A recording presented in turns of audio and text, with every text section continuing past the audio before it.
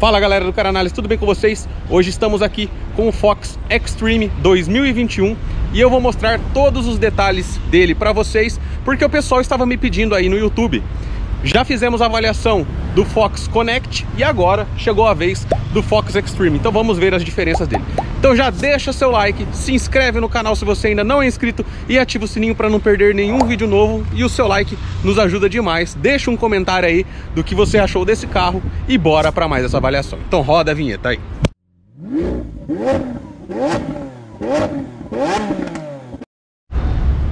Bom galera, esse aqui é o Fox Extreme 2021 e temos aí várias diferenças em relação à versão Connect, né? Essa aqui é a versão mais completa.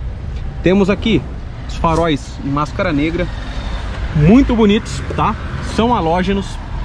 Temos o farol de neblina, né? Aqui embaixo. A grade em colmeia, muito legal essa grade, né? Essas grades em colmeia, eu acho muito bonito. Também temos aqui esse friso, né? Para dar um destaque aí na frente. E um para-choque aí muito bonito, porém não conta com sensor de estacionamento dianteiro, certo? Aqui na lateral temos repetidor de seta nos retrovisores e tanto os retrovisores como a maçaneta não são pintadas na cor do veículo. Aqui nas rodas possuímos uma roda aro 16 com pneus 19550, né? E eu acho muito legal essa coloração de roda, né? Essa roda diamantada é muito bonita. Outra diferença que temos aqui em relação à versão Connect, esses frisos laterais, né? Fazem aí uma alusão a um carro cross, né? E o rack Além da inscrição Extreme, certo? E galera, eu acho que ficou bem legal essa versãozinha Extreme. Mais bonita que a versão Connect, né? Não sei vocês, deixem nos comentários aí o que, que vocês acham desse carro. E a abertura do porta-malas é feita aqui no símbolo, né? Mas primeiro eu vou mostrar para vocês aqui as lanternas que não são em LED também, mas são muito bonitas. A inscrita Extreme aqui atrás. Brake light. Antena. A antena não é tão grande. E aqui no para-choque traseiro temos ali um gancho de reboque, né? Nessa região aqui. E além do friso, né? Que percorre ali a lateral do carro, a gente tem esses frisos aqui também, né? Que também percorrem aí o carro inteiro. Ficou muito legal esse carro, galera. Principalmente nessa cor, né? Vocês sabem aí que eu tenho um polo nessa cor e eu acho muito bonito. Agora sim, vamos ver o porta-malas. Bom, galera, aqui no porta-malas do Fox, vou deixar a litragem na tela para vocês. Não temos um porta-malas tão grande, tá? É um carro aqui mais urbano. E o acabamento também não é dos melhores, né? Tem a lata aparecendo aqui. Porém, contamos aí com o top tether, tá? E esse carro também tem isofix. Cinto de três pontos para todos os ocupantes. Aqui no step temos uma roda mesmo, tá? De ferro. Muito legal, não é provisório, então dá para aproveitar o pneu. Temos um tampão aqui, né? Ele não conta com caixas de som aqui nessa região, que é, a gente tem o sistema do cinto de segurança aparente, que não é comum. E aqui em cima temos os detalhes em lata, né? Porém ele conta aqui com uma alça para a gente poder puxar e fechar, certo? E esse aqui é a parte de cima do Volkswagen Fox Extreme. E esse aqui é o sistema de iluminação do Fox, tá? Que não é um LED. Muito legal, né? Essa é a chave do Volkswagen Fox Extreme, uma chave canivete, né? Não é de presença, então a gente tem que apertar para poder abrir. E esse é o interior do Fox Extreme. Como vocês podem ver, também é um interior diferente da versão Connect tanto no tecido dos bancos como a costura também que é diferente. O banco conta com regulagem de altura também, tá? Muito bom isso. Bom, galera, aqui nas portas, não sei se a câmera vai captar direito por conta aí do sol, mas temos um tecido nessa região, tecido bonito, porém a porta toda em plástico duro, tá? Aqui temos a caixa de som, porta-garrafas, né? Ou latas. Temos um outro porta-objetos aqui embaixo. E o puxador aqui é de um material que tenta imitar o metal, mas não é metal também, tá? E aqui a gente tem abertura, fechamento das portas, né? Temos também vidros One Touch nos vidros da frente e os de trás não são One Touch, certo? Aqui a gente tem também bloqueio do vidro traseiro e os comandos do retrovisor, que é elétrico e conta com a função tilt down, que é aquela função que quando você engata ré, o retrovisor do lado do passageiro desce. Já aqui no painel a gente conta com um belíssimo painel. Eu acho esse painel muito bonito, porém ele não é aquele painel em tela, né? Não existe o Active Info Display para o Fox. E tem um computador de bordo aqui com várias funções. A gente tem autonomia, distância percorrida, velocidade média, quilômetros por hora, alerta de velocidade, tempo de viagem, consumo instantâneo, consumo médio e voltamos aqui para autonomia. Também temos os status do veículo, né, que ele está acusando aqui como se fosse um erro por falta de combustível, certo? Temos as configurações de idioma, temos as configurações do computador de bordo que mostra o que você quer ver, tá? Temos sensor de estacionamento.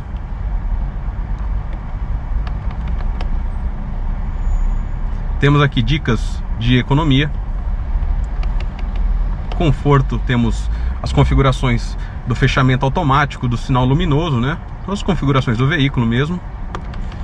Temos configurações de iluminação e manutenção aqui também, né? A gente consegue programar troca de óleo, quantos mil quilômetros, né? Isso aqui tudo a concessionária faz e o carro te avisa quando ele precisa fazer a revisão, quando ele precisa trocar o óleo, o filtro de ar, dentre outras coisas. O volante, nessa versão já é aquele volante Black Piano, né? Que eu acho muito bonito.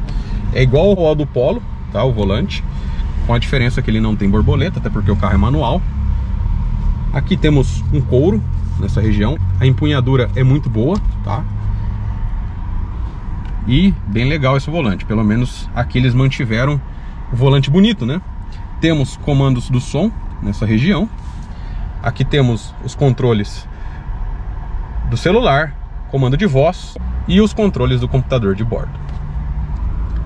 Aqui contamos com faróis que não são automáticos, certo? E também com farol de neblina. No painel aqui em cima plástico duro também, no painel inteiro, né? Esse carro aqui conta um airbag duplo. E ele também conta aqui com um desembaçador traseiro. Acabamento aqui muito bonito, inclusive.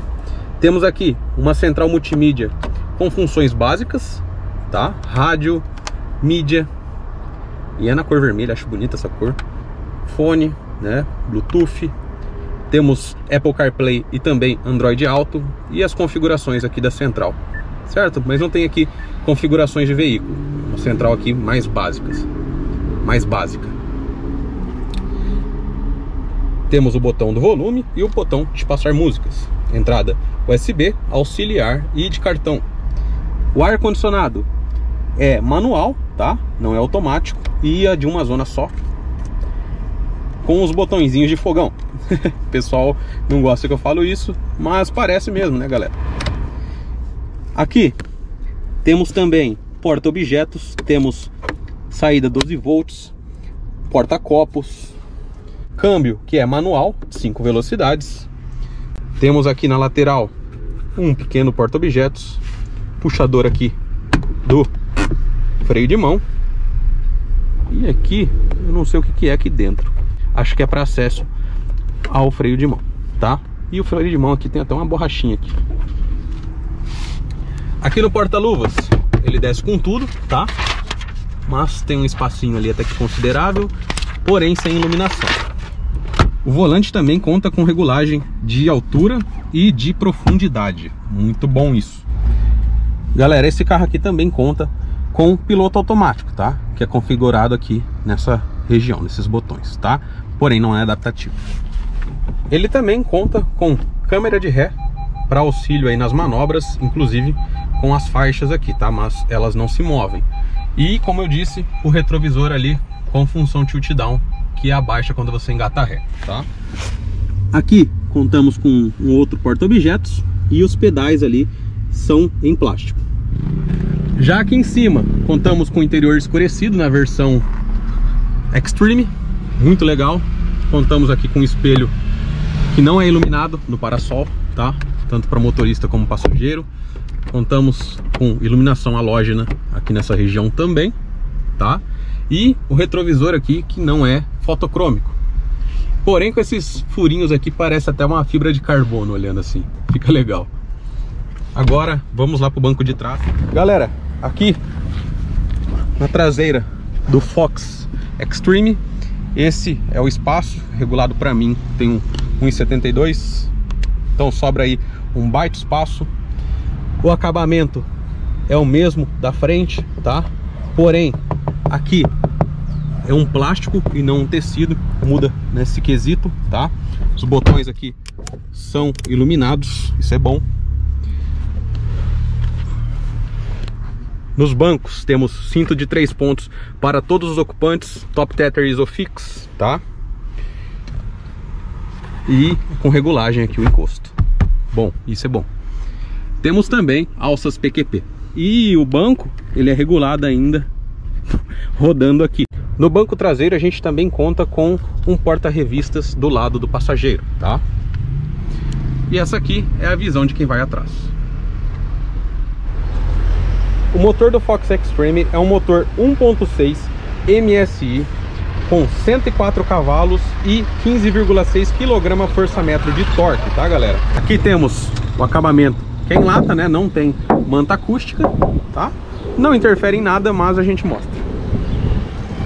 E aqui temos as informações do Inmetro. Bom, galera, e aí, o que vocês acharam do Volkswagen Fox Extreme 2021? Gente, eu acho que essa versão do Fox é mais bonita do que a Fox Connect, tá? Eu não gostava tanto de carros cross, até ter o Up Extreme, que na época se chamava Cross Up. Hoje eu acho esses carros aí mais bonitos, porque eles parecem mais completos também. E são mais completos, né? Não só parecem. Os bancos desse carro também são bem confortáveis, tá? Além de serem bonitos, né? Por conta aí da costura vermelha, né? Os detalhes ali. Fica bem legal. Ele também conta aí com um motor que é suficiente para empurrar o carro, tá? Um motor 1.6.